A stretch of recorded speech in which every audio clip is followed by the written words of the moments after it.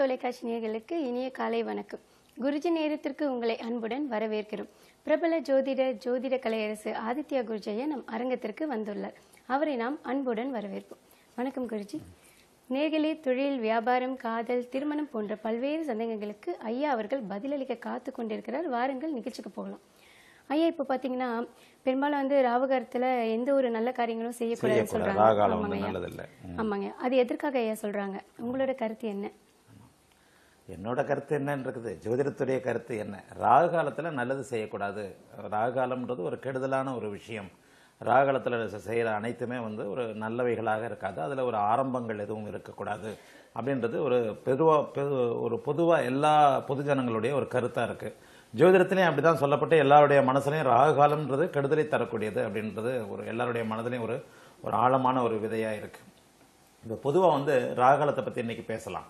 அதில் ராகு காலத்தில் மிக மிக முக்கியமாக எல்லோரும் தப்பு செய்கின்ற எல்லாரும் தவறுற ஒரு விஷயத்த சொல்கிறேன் இன்றைக்கு ராகு காலம்ன்றது ஒரு ஒன்றரை மணி நேரம் கொண்ட ஒரு பகுதி. ஒரு நாளின் ஒன்றரை மணி நேரம் கொண்ட ஒரு பகுதி. அப்போ அந்த ஒரு நாளின் ஒன்றரை மணி நேரம் ஏன் ராகு கேதுக்களுக்காக ராகுக்கும் கேதுக்கும் சேர்ந்து பொதுவான நேரம் அது? சில பேர் வந்து ஆஹ், கேதுவுக்கு ராகு காலம் என்பது ராகுவிற்கும் கேது காலத்திற்கு யமகண்டம் அப்படின்னு சொல்லுவாங்க. அது தவறு.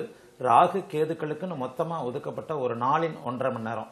கேது காலம் யமகண்டம்ன்றது தவறு ராகு காலம் தான் ராகு கேதுக்களுக்கு ரெண்டுக்குமே ஒன்றரை மணி நேரம்.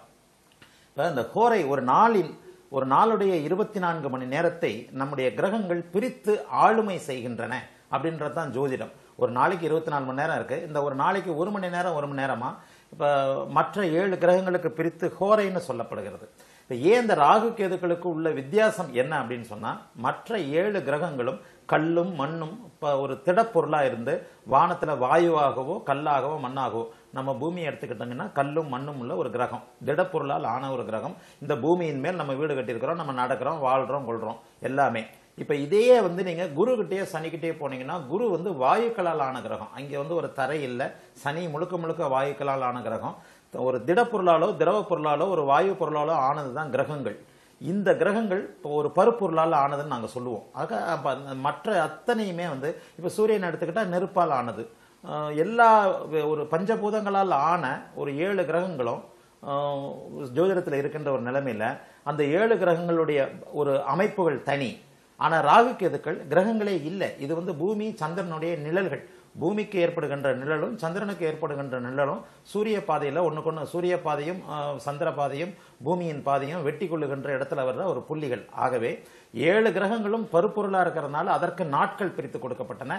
அந்த நாட்களுக்குள்ள வந்து உங்களுக்கு ஒவ்வொரு மணி நேரம் கோரையா சூரிய கோரை சந்திர கோரை செவ்வாய் கோரை புதன் கோரைன்னு சொல்லிட்டு ஒவ்வொரு கிரகத்திற்கும் ஒவ்வொரு மணி நேரம் பிரித்து கொடுக்கப்பட்டிருக்கிறது. பிரித்து கொடுக்கப்பட்டிருக்கிறதுனா என்ன அர்த்தம்னா ஒவ்வொரு மணி நேரமும் மனிதனை உலகத்தை பூமியை அந்த கிரகங்கள் பிரித்து எடுத்துக்கொண்டு ஆளுமை செய்கின்றன அப்படின்றதான் ஜோதிடம். ஆனால் இந்த ராகு கேதுக்களுக்கு வந்து அந்த அமைப்பு இல்லை. ஏன்னா அந்த ராகு கேதுக்கள் கல்லும் மண்ணும் இல்லாத ஒரு கிரக அமைப்புகளே இல்லாத ஒரு பூமி சந்திரனுடைய நிழல்கள். ஆனாலும் இந்த கிரகங்கள் மனிதனுடைய வாழ்க்கையில வந்து பாதிப்புகளை ஏற்படுத்துகின்றன.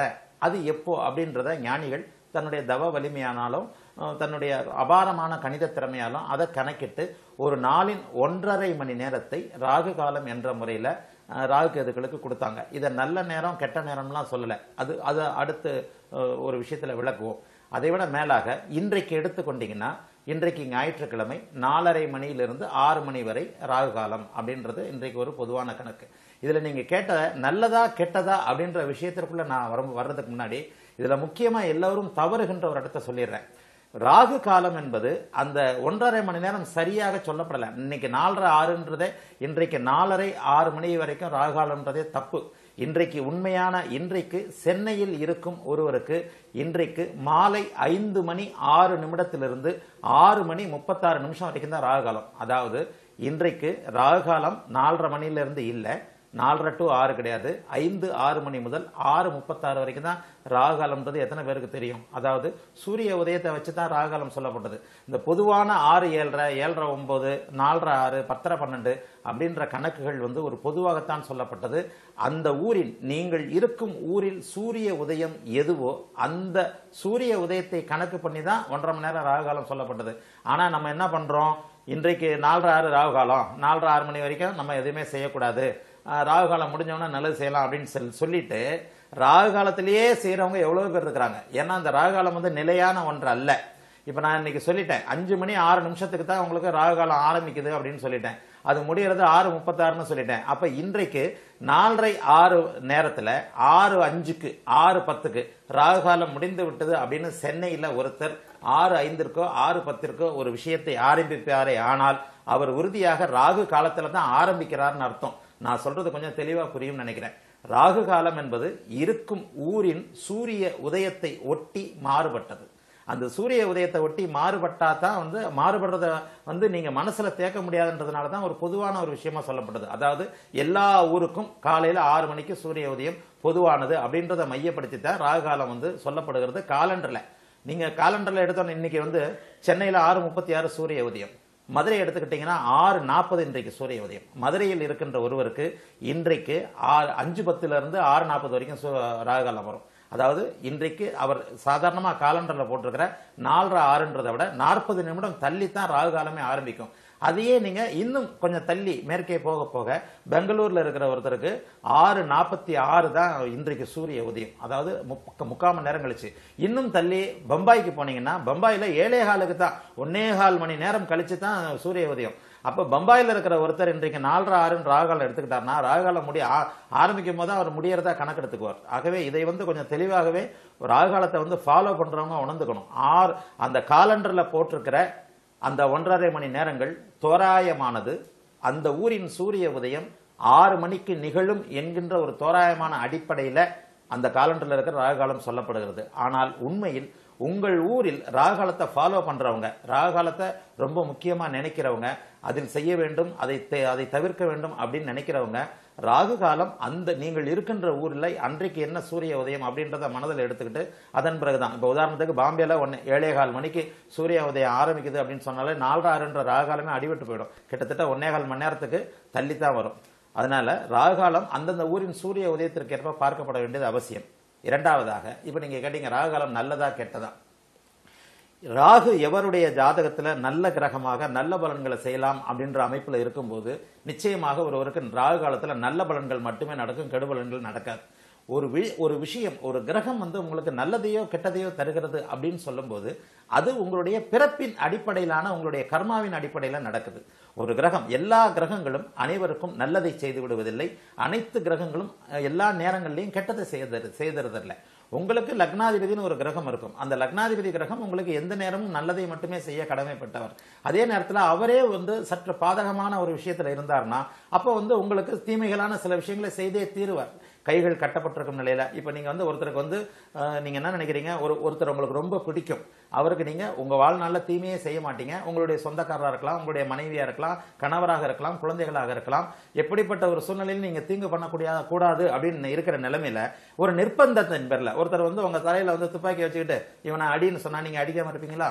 ஒரு மிரட்டலுக்கு உள்ளாகும் போதோ அல்லது ஒரு நிர்பந்தத்துக்கு உள்ளாகும் போதோ உங்கள் மனம் செய்யக்கூடாது என்று செ- சொல்லுகின்ற ஒரு செயலை நீங்க செய்தே ஆக வேண்டும் அப்படிங்கிற அடிப்படையில் சில நிலைகளில் லக்னாதிபதி கிரகம் கூட நல்லது கெட்டது செய்யும். ஆகவே இந்த பிறப்பின் அடிப்படையில் ஒரு கிரகம் நல்லது செய்ய விதிக்கப்பட்டிருந்தா நீங்க உங்களுக்கு அந்த கிரகம் நல்லது செய்கின்ற அடிப்படையில் ராகு கிரகம் எவர் ஒருவருக்கு நல்லதை செய்ய விதிக்கப்பட்டிருக்கிறதோ அந்த சூழ்நிலையில நிச்சயமாக உங்களுக்கு வந்து நிச்சயமாக உங்களுக்கு வந்து நல்லது மட்டுமே நடக்கும். ஆகவே ராகு காலத்துல எல்லாருக்கும் கெடுதல் நடக்கும் அப்படிங்கிறது பொருந்தாது. உங்களுடைய ஜாதகப்படி ராகு வந்து நன்மைகளை தருகின்ற கிரகமா இருந்தா வாழ்நாள் முழுக்க உங்களுக்கு ராகு காலம் நல்லது மட்டுமே செய்யும். இதை நீங்க வந்து எப்படி இதை உணர்றது? ராகு வந்து எனக்கு நல்லது செய்தா கெட்டது செய்தான்னு எப்படி உணர்றது? வாழ்க்கையில் ஜோதிடத்தில் நம்பிக்கை வந்துருச்சுனாலே நேரத்தில் உங்களுக்கு நம்பிக்கை வந்துடணும் அப்போ உங்கள் வாழ்க்கையில் நடக்கிற சில முக்கியமான நிகழ்ச்சிகளை ஒரு ஒரு வாரமோ ஒரு ஒரு மாதமோ அந்த ராகு காலத்தில் என்னென்ன நிகழ்ச்சிகள் நமக்கு நடக்குது? கோரையின் ஆதிக்கம் காலங்களின் ஆதிக்கத்தில் தான் மனித மனம் இருக்குது அப்படின்றதான் ஜோதிடம் சொல்லுது. நீங்க உங்களே உணர்றதுக்கு எந்த கோரையில நாம் பதட்டமாக இருக்கிறோம்? ஒரு கோரையை பார்த்துக்கலாம். அல்லது ராகாலம் இந்த இந்த மாதிரி நேரங்களை கொஞ்சம் மனத்தில் எடுத்துக்கிட்டு இந்த ராகால நேரத்தில் நமக்கு எப்படி இருக்கு? நம்முடைய மனம் பதட்டமாக இருக்கிறதா? அன்றைக்கு ஒரு நல்ல விஷயம் இருக்குதா? ஒரு பணம் வருதா? அல்லது நல்ல விஷயத்தை கேள்விப்படுகிறோமா? அல்லது அன்றைக்கு ஒரு நமக்கு கெடுதலான விஷயங்கள் நடக்கிறதா? இதை வச்சே நீங்கள் ஒரு வாரம் ஒரு மாதம் ஒரு இரண்டு மாதம் உங்களுடைய வாழ்க்கையில் என்னென்ன சம்பவங்கள் உங்களுக்கு நடக்கிறது அப்படின்றத வச்சே நீங்கள் ராகு காலத்தை ஜட்ஜ் பண்ண முடியும். ஆகவே ராகு உங்களுக்கு கெட்ட கிரகமாக இருந்தால் அந்த ராகு தசை சில நேரங்களில் கெடுதல்களை தான் செய்யும். அதை விட முக்கியமாக இந்த ராகு காலம் யமகண்டம் இந்த மாதிரியான விஷயங்கள்லாம் அஷ்டம சனி ஏழரை ஜன் ஏழரச்சனியில் ஜென்மச்சனி நடக்கும்போது வேலையே செய்யாது. ஏன்னா முழுக்க முழுக்க நீங்க சனியின் ஆதிக்கத்துல போய் அந்த அந்த ரெண்டரை வருஷம் ரெண்டரை வருஷம் சொல்றோம் இல்லையா? இப்போது தனுசு ராசிக்காரர்களுக்கு முழு இரண்டரை வருஷங்கள் அஹ், நடந்து கொண்டிருக்கிறது. இந்த ஜென்ம இதுக்கு ரெண்டரை வருஷத்துக்கு முன்னாடி ரெண்டாயிரத்தி பதினேழுல இருந்து ரெண்டாயிரத்தி பதின ரெண்டாயிரத்தி பதினஞ்சுல இருந்து பதினேழு வரைக்கும் விருச்சிக ராசிக்காரர்கள் முழுக்க முழுக்க ஜென்மச்சனியின் ஆதிக்கத்தில் இருந்தாங்க. தற்போது ரிஷப ராசிக்காரர்கள் அஷ்டம சனியின் ஆதிக்கத்தில் இருக்கிறாங்க. இவர்களுக்கு ராகு காலமே வேலை செய்யாது. அதுக்கு எப்பவுமே அந்த அந்த அமைப்புல கெடுதலாகத்தான் இருக்கும். ஆகவே ஒரு ஜோதிடத்தில் வந்து ஒரு நுணுக்கமான விஷயத்துக்கு உள் பொதுவான விஷயங்கள்னு எதுவுமே சொல்ல முடியாது. ஜோதிடம் தவறுகிறதே இந்த மாதிரியான பொதுவான விஷயத்துல தான். ராகாலத்தில் கெடுதல் நடக்கும்னு சொன்னாங்களே எனக்கு நடக்கலையே. இது எனக்கு நல்லது நடக்கும்னு சொன்னாங்களே அது நடக்கலையேன்னு ஒரு ஒவ்வொருத்தர் நினைச்சுக்கிறது ராசியை வைத்து மற்ற விஷயங்களை வைத்து பொதுவான விஷயங்களால் தான் ஆகவே இப்போது நீங்கள் கேட்ட கேள்விக்கு ராகு உங்களுக்கு நன்மை செய்யும் கிரகமாக இருந்தால் நிச்சயமாக வாழ்நாள் முழுக்க ராகு காலம் உங்களுக்கு நன்மைகளை மட்டுமே செய்யும். ராகு தீமையை செய்கிற கிரகன்ற போது அது வந்து உங்களுக்கு அந்த ராகு காலத்தில் நீங்கள் தவிர்க்கிறது நல்லது. அதிலும் நான் சொன்னதை போல ராகு காலம் என்பது இடத்திற்கு இடம் மாறும் என்பதால் நீங்கள் இருக்கின்ற ஊரில் அன்றைக்கு என்ற என்றைக்கு சூரிய உதயம் என்பதை வைத்துக்கொண்டு அதிலிருந்து நீங்கள் ராகு காலத்தை கணக்கெடுத்துக்கிறது தான் மிகவும் நன்றாக இருக்கும். ரொம்ப நன்றிங்க.